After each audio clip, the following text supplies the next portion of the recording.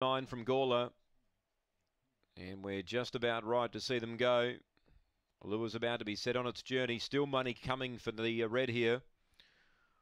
Stitchem Rollo. Green lights on. Set to run. Jimmy Peruzzi favourite. They're ready. Racing, Stitchem Rollo came out running uh, on the outside. Got a Maggie pressing it though, and behind those in Jimmy Peruzzi. So Stitchem Rollo narrowly from Got a Maggie. Third placing the outside a length away, Jimmy Peruzzi. Then came Firestarter Lady, Mayhem Dream. He's Augusta Lad. Stitchem Rollo's been heavily back. Drew a length and a half clear. Got a Maggie can't do any more. Stitchem Rollo lands a good plunge. Second got a Maggie photo. Third Mayhem Dream or Firestarter Lady. Jimmy Peruzzi drifted right out in the markets and he ran accordingly. And he's Augusta Lad back with it. The time 23. Number one, Stitchem Rollo. Heavily backed. Gets the money. 550.